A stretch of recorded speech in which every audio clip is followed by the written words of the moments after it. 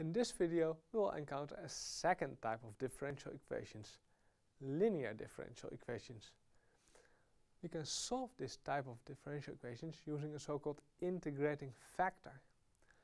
In this video we will learn what a linear differential equation is and what an integrating factor is and how you can use it to solve such a differential equation. So let us take a look.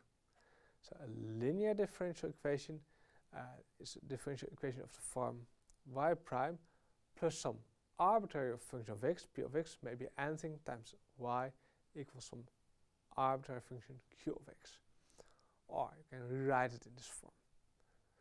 So what's linear in the linear differential equation? Well, the linear is that the y and the y prime are linear over here. x may be anything, p of x and q of x may be any functions y and y prime have to be linear in the equation. So let's take a look at some examples. First example, y prime equals y times cosine x plus e to the power x squared. So in this case we would have p of x equals cosine x and q of x equals e to the power x squared. Well, p and q are horrible, but that's okay. The y and the y prime are linear in the equation, so there we are. That's fine. This one is linear. Second one looks much easier. Dy dx equals x cubed times y squared. Well, the x cubed is okay, but the y squared is not. The y is not linear in this equation. We have a y squared, so the second equation is not linear. Third one, dy dx equals x cubed. Is this one linear? Doesn't look so, because we are missing the p. But wait a minute, p of x can be anything, including the zero function. So here we have a linear differential equation with p of x equals 0 and q equals x cubed. So this one is linear and separable as well, by the way. And the last one, dy dx equals x squared plus y squared. Here we have again a y squared, so this one is not linear. And by the way, it's not separable either. So the uh, first and third are linear. The uh, second and, uh, is also se uh, is separable third is also separable, and the fourth is neither linear nor separable. So how can you solve those differential equations? Well, we first look at the idea. What's the general idea? For that we look at 3. If we have no p of x, in that case we have dy dx equals x cubed, and we can integrate on the left and on the right with respect to x. So we get the integral of y prime with respect to x equals integral x cubed dx. So we get y equals x to the power 4 over 4 plus c. So if we don't have a p, we can just integrate left and right.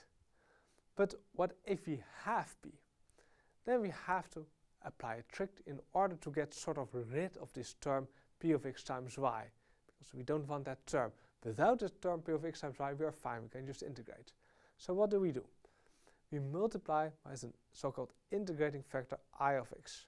So we can do that of course, and at first it looks much worse. So we have i times y prime plus i times p times y equals i times q. And now we want to choose this i of x such that this left hand side over here, so i y prime plus i times p times y as the derivative of i times y. So we want to choose a very particular i such that this left hand side can be written as a single derivative. This is a sort of inverse product rule. So how do we have to choose our i then? Well, let's see. What happens if we expand here this right hand side? The ddx of i of x times y, we have to use a product rule there, so we get a di dx times y plus i times dy dx and we want it to be equal to this expression over here so that has to be equal to i times y prime plus i times p times y. And we see that we are already quite far because we have a term in common. Those terms cancel out. So we want to choose our i such that i prime times y has to be equal to i times pi times y. Uh, so the y cancels out. So uh, i prime has to be equal to i times p. So we have this equation over here, and we have to solve now for i of x. but we know how to solve this equation as a separable equation, so we can solve it. So what do we do? We separate, we put the i's on the left hand side and the x's on the right hand side. So we get a di over i equals px dx. So then we are over there. And note, notice you know your p of x, it's coming from your original equation. So you know your p of x. Then we uh, put integral signs and we integrate, so we get the uh, ln of i on the left hand side and some integral px dx on the right hand side. We want to know i, uh, so we solve for i by taking exponentials, so we get i of x equals e to the power integral px dx. So this i of x looks kind of horrible, but you can compute it because you have p, you can integrate and you can put it in an exponential. And we call this i of x our integrating factor. So why does this integrating factor work at all? So choose our, choose our integrating factor such that this left hand side here, this left hand side here, becomes a single derivative of uh, i times x times uh, y. So the left hand side over here becomes a single derivative d dx of i of x times y equals right hand side i times q. And now you are in a problem of this type. Now you can just integrate left and right hand side with respect to x. If you integrate with respect to x on the left hand side, you get i of x times y. And on the right hand side, we have only x's now. So you can just integrate right hand side with respect to x. And in the final step, you just have to divide by i, and there you have your y.